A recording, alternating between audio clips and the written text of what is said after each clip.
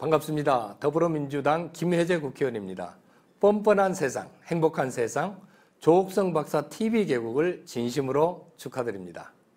조옥성 박사님은 그동안 여수시 체육회 사무국장과 국제 웰빙 전문가협회 행복 코디네이터 책임 교수 등으로 활동하시면서 마술쇼를 비롯하여 행복특강 등 우리 지역의 건강하고 행복한 웃음 전도사로서 활약해 오셨습니다.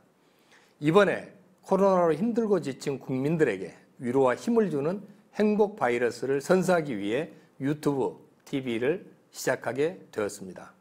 코로나19로 인해 지친 많은 분들이 뻔뻔한 세상, 행복한 세상을 통해 위로받고 어려움을 이겨내는 미래의 희망을 열어나가는 새 힘을 얻기를 소망합니다. 또한 조옥성 박사 TV의 화목하고 행복한 세상 만들기에 많은 분들의 적극적인 참여와 관심을 부탁드립니다. 저도 열심히 응원하겠습니다.